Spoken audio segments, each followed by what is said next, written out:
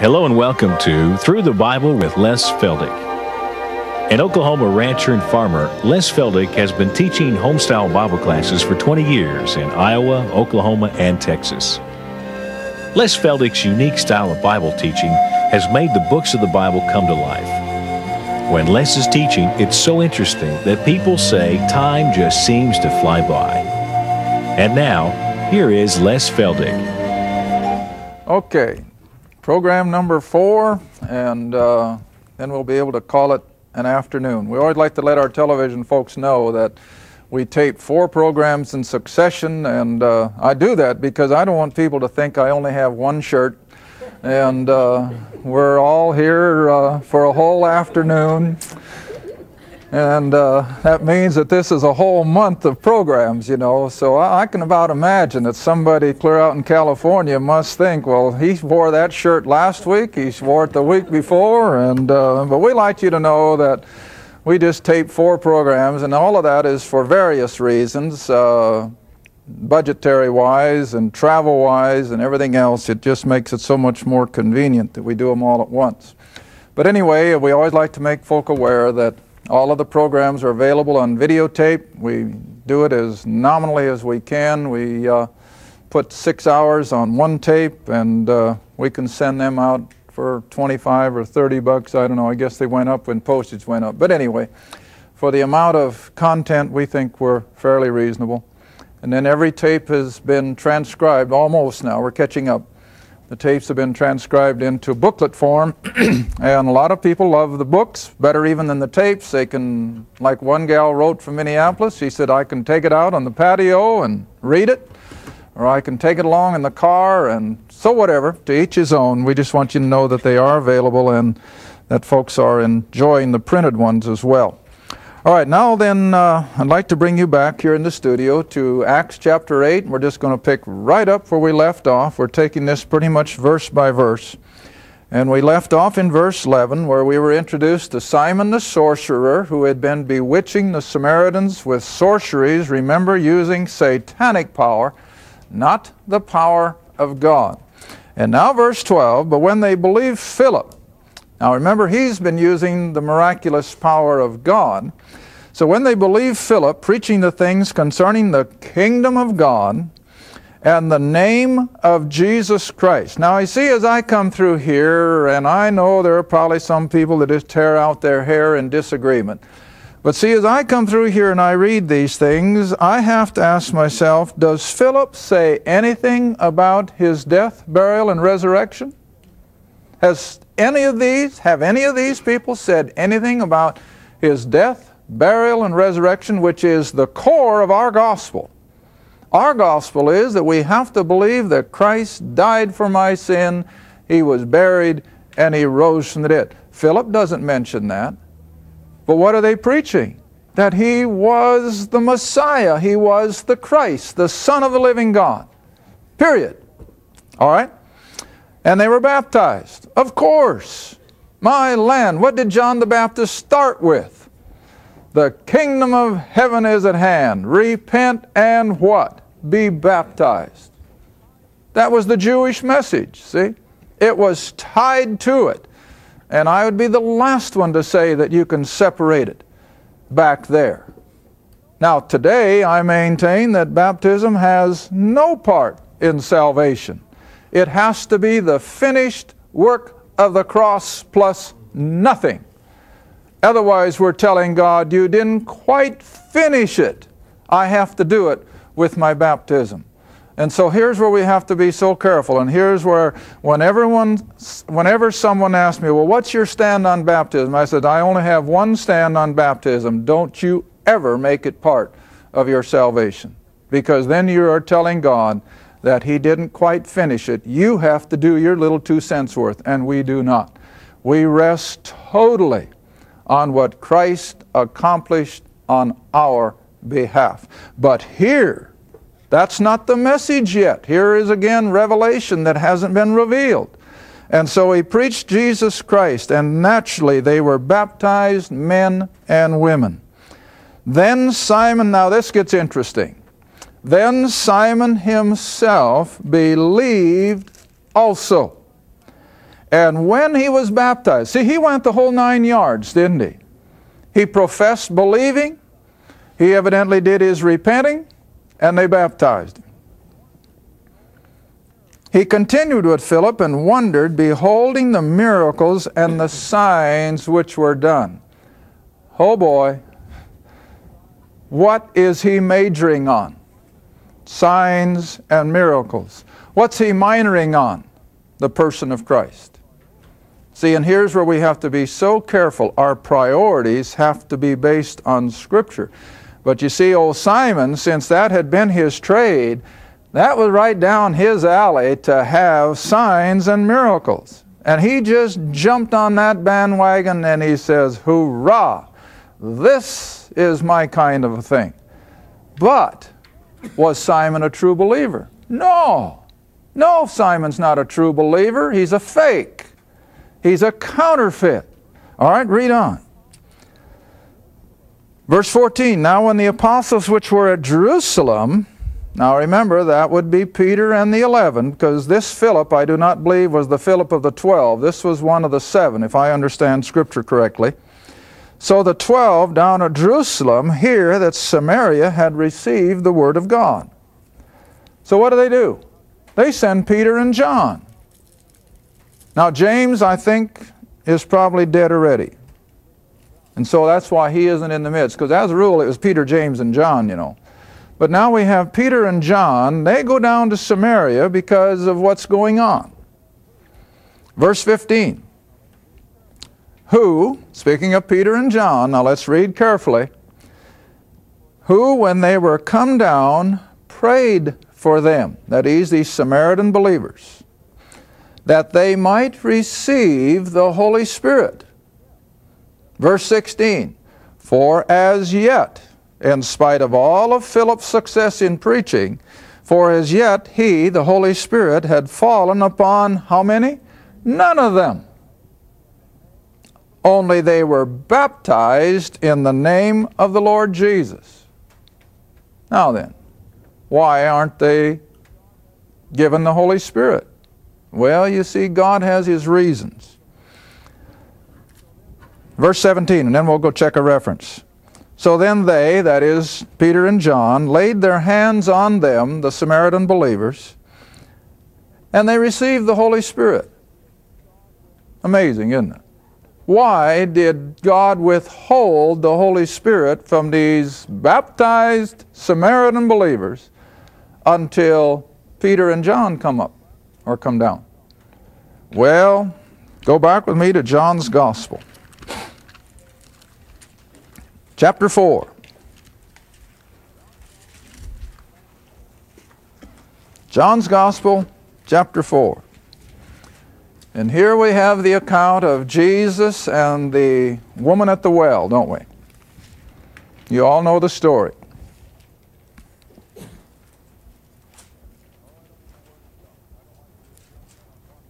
Oh, I don't even know where to start. I don't like to just jump in on one verse. I like to get the whole flow if possible, but time probably won't permit that. But come down to verse 15. Now, this is Jesus and the woman of Samaria at the well. Verse 17 of John 4 The woman answered and said, I have no husband. Jesus said unto her, Thou hast well said, I have no husband, for thou hast had five and he whom thou now hast is not thy husband. Sounds familiar, doesn't it? In that thou sayest truly. The woman saith unto him, Sir, I perceive that thou art a prophet. Now look at verse 20. The woman of Samaria is speaking.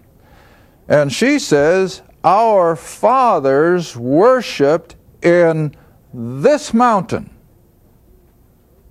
And you say, being a Jew from Jerusalem, you say that in Jerusalem is the place to worship.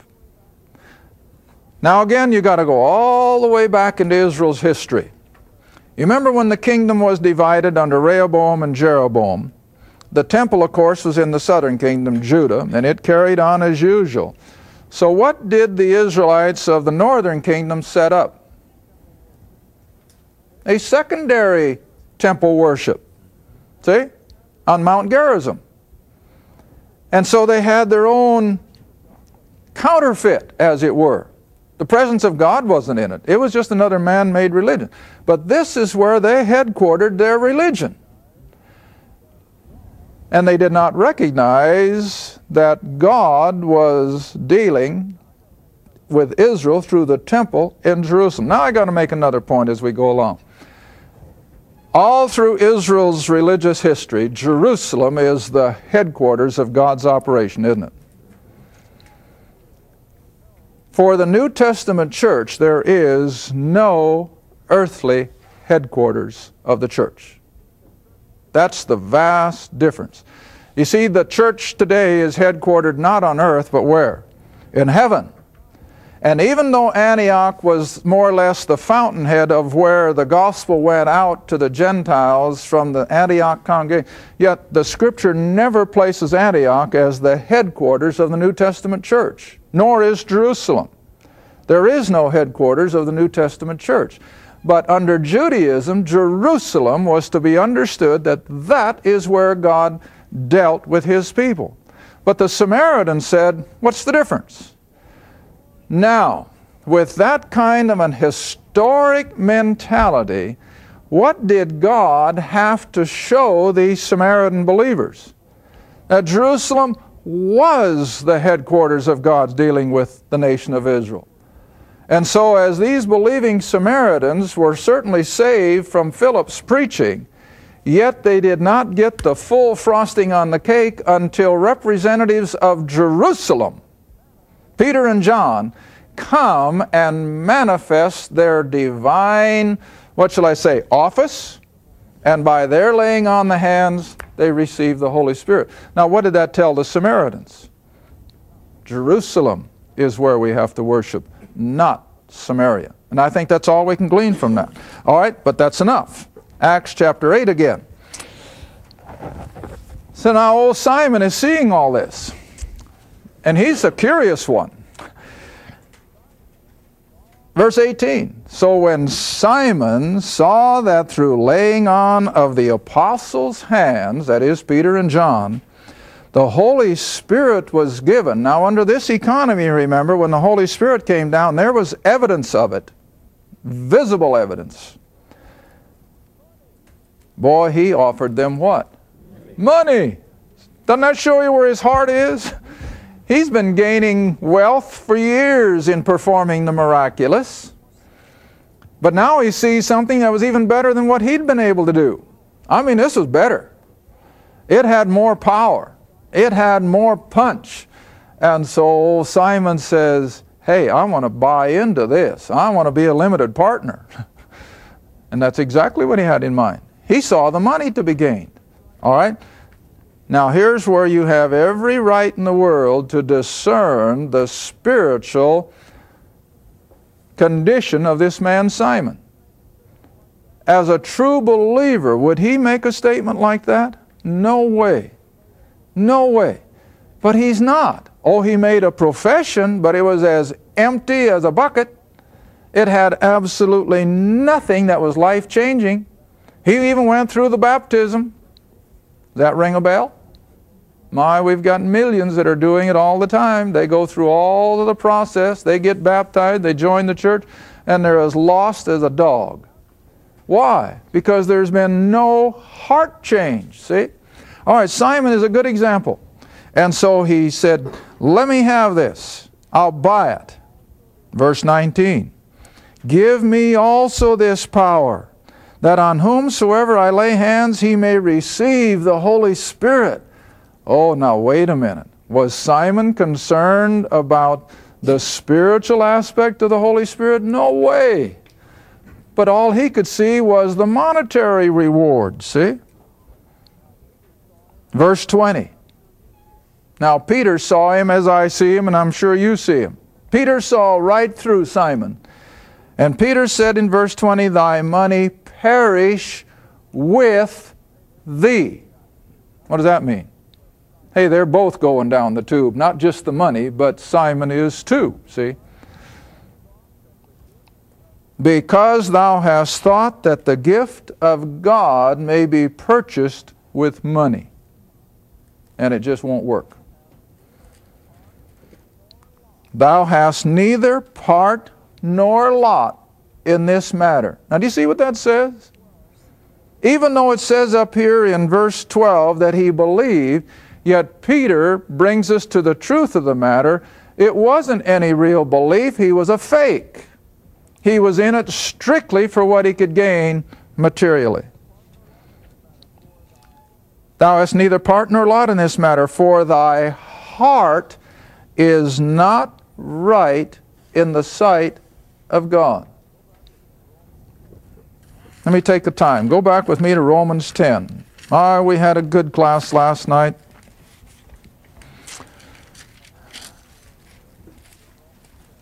The whole hour was in Romans 10. And I came away from that class just knowing that, that hearts were really touched by the gospel. And here it is. And this is what makes me think of it. Romans 10, 9 and 10. Those are verses that I think every servant of God uses when you're dealing with someone in salvation. Verse 9 that if thou shalt confess with thy mouth the Lord Jesus and shalt believe where? In thy heart, not just in the head, but if thou shalt believe in thy heart that God hath raised him from the dead. Now, what does that imply? He died. See? That's the gospel. He died, he was buried, and he rose from the dead. If you believe that with all your heart, thou shalt be saved. Not if, maybe, or hope so. But when we believe, God promised it as a fact. Thou shalt be saved. That's a promise. And what does God expect us to do with the promises? Rest on them. Rest on them. Not doubt them, not wonder, but we have every right in the world to say, But God, this is what you told me and I believe it. And that's one place where we can hold God accountable, if I may put it that way. Because He said it, we can believe it. But now look at the next verse. For with the heart, see, not with the head, not with the mind, but with the heart, man what? Believeth unto righteousness. Now, do you see a lot of things that everybody thinks, thinks should be in there and they're not? Paul doesn't even allude here to some of the things that we're seeing back in the early Acts. But all he says that if we believe with all our heart that God in Christ died for our sins, was buried, and rose from the dead, thou shalt be saved. That's a promise but it has to be in the heart. All right, now come back to Acts. See, Simon didn't get it in the heart. Simon just saw with the physical and in the material what was to be gained, and he says, Hey, I want that. That's not the heart. All right, read on. Verse 22. Peter says then to Simon, Repent therefore of this thy wickedness, and pray God if perhaps the thought of thy heart may be forgiven thee. But we have nothing in Scripture to give us the slightest hint that Simon ever changed his mind. In fact, we've read a book just lately where Simon was probably the promoter of what was later called Gnosticism. And that was a total counterfeit of Christianity. I mean, he actually went from Samaria according to some of the archaeological, historical findings and so forth, and actually became the enemy of the gospel. And I can believe that because he is a satanically endowed individual. And so Peter says, I perceive, verse 23, that thou art in the gall of bitterness and in the bond of iniquity. Is that the description of a believer? No way. Because, see, that's what salvation breaks is the bond of iniquity. Salvation breaks those chains of Satan. Salvation sets us free. See? You know, I often have to tell my classes during the week, You know, back in the 60s in the hippie movement, they thought they were free, didn't they? They thought their lifestyle had just broken all bounds of, of social behavior. They could do as they pleased. Hey, those people weren't free. They were in the very bonds of Satan himself. They were bound. But you see, the believer is truly set free. And all those shackles are broken by the very power of God when we believe. But poor old Simon couldn't believe. All he could see is what was the material. All right, let's read on. Few minutes left. Verse 24. Then answered Simon and said, Pray ye to the Lord for me. Does that work? Uh-uh. You know, salvation has to be, again, let, us go back to Romans 10. I got a couple minutes to spare. Romans 10.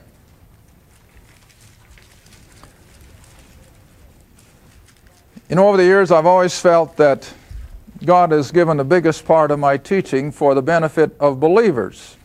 But that doesn't mean we don't recognize that there are a lot of lost people that we touch, and we've seen a lot of people come to know the Lord. But I know that I don't express a lot of evangelistic output in my, in my teaching, and uh, I'd be the first to admit that. And uh, that might be a failure on my part.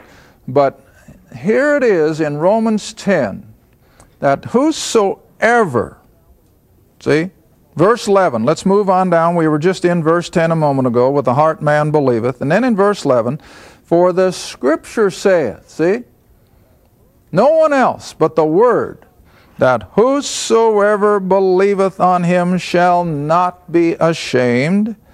And then he brings in this, of course, which got Paul in trouble with the Jews, that there is no difference between Jew and Greek. For the same Lord over all is rich unto all, oh, not in a blanket effect, but to whom? Who call upon him. And then you come into that great verse 13. And I'm always reminded of a lady in Minnesota years ago that when we brought her through all these verses and we got down to verse 13, through her tears, she said, I never saw this verse before. And she claimed to have been a Sunday school teacher for years. But see, here's the capstone again of the whole thing. When we believe what the Bible says about ourselves, that we're sinners. Romans 3:23, for all have sinned. We're sinners by virtue of being sons of Adam. And when we take that verse by faith, that God has called me a sinner, then I can believe that Christ died for my sin. He died in my place. But that still isn't quite enough because what does God expect us to do? Recognize it. And we recognize it by verbally. Now, you don't have to shout it to a crowd and you don't have to shout it to a housetop, but I think even in the privacy of your own prayer closet or wherever you are, driving down the road or washing dishes over the sink, whatever the case may be, you verbally say, Lord, I'm a sinner. Save me because I believe that you've done everything that needs to be done. That's what verse 13 means. For whosoever shall call upon the name of the Lord, and then what's the promise again? That person shall be saved. I can't understand it. I don't think you can. But it's what the book says. That if we call upon him, he'll be saved. You know, I've always given, I did last night in the class, I give the old simple, almost a childlike illustration of a swimming pool on a hot summer afternoon. And the kids are screaming and laughing and they're having a ball. And there's so many heads in there that you can't see one from the other. But for a lifeguard who knows what he or she is doing, even though they may be carrying on conversation with kids around their stool, and you know how they do, but what is their ear constantly trained for? That feeble cry, help. And then what does that lifeguard do? bingo. If they know what they're doing, they're in that water and they're saving that sinking child. All right, now this is the way, in that simple form, I picture God. He is constantly listening for the feeble call of a sinner who says, I want to be saved. And the minute, the second that God hears that, He's there. And that's what salvation is all about. And this is exactly what this verse. And now, as I told this lady as I left that evening, I said, Now, tomorrow, Satan's going to come back and cast doubt. And he's going to make you say, Well, did anything really happen? And you come right back and open your Bible to Romans 10 13, and you again verbally, you just simply say it out loud, but God, you promised it. See, and that's what faith is all about. You promised, and I did what you said I should do. I called upon you, I've believed the gospel, and now I want the assurance that what you've said is true. My, listen, I've had I don't know how many people that have come long after the fact and told me, well, this is what I did, and what a difference. I remember one time I told one of my classes several years ago, if you have doubts, and a lot of Christians do, if you have doubts, land don't go through life doubting. Drop to your knees some morning and just say, now Lord, if I'm not truly saved, I want you to save me right now. And I had a lady one time come and she said, You know, Les, when you said it, I, I kind of smiled, but she said, I did. And what a difference came over my life. And she says, Now I know without any doubt that I have called upon Him and He has responded by saving me, and I no longer have doubts. Oh, listen, don't go through life wondering, Am I going to make it? Am I all right? The scripture says, make your calling and election what? Sure. See? And that's one way of doing it. All right, back to Acts 8 for just a few seconds. Verse 24. so Simon says, Pray to the Lord for me. And I could told you that doesn't work. But then verse 25. And they, that is Peter and John, when they had testified and preached the word of the Lord, where did they go? They returned to Jerusalem. Well, you'd think they had their appetite whetted now. They should have kept right on going. But they don't. And they're not remiss. They're not derelict of duty because, like I said in the last program, they knew that they had no ministry to Gentiles until Israel had the king. And so, where do they go? Back to Jerusalem and were no indication that they ever went to a Gentile. Thank you for watching Through the Bible with Les Feldick, a weekly Bible study. If you would like more information about the Les Feldick Ministries, a Bible study in your area, or about this program, write to Les Feldick Ministries, Route 1, Box 760, Kinta, Oklahoma 74552. That's Route 1, Box 760, Kinta, Oklahoma 74552. Through the Bible with Les Feldick is viewer supported, and your gift is appreciated. Thank you, and be sure to tune in next time for Through the Bible with Les Feldick.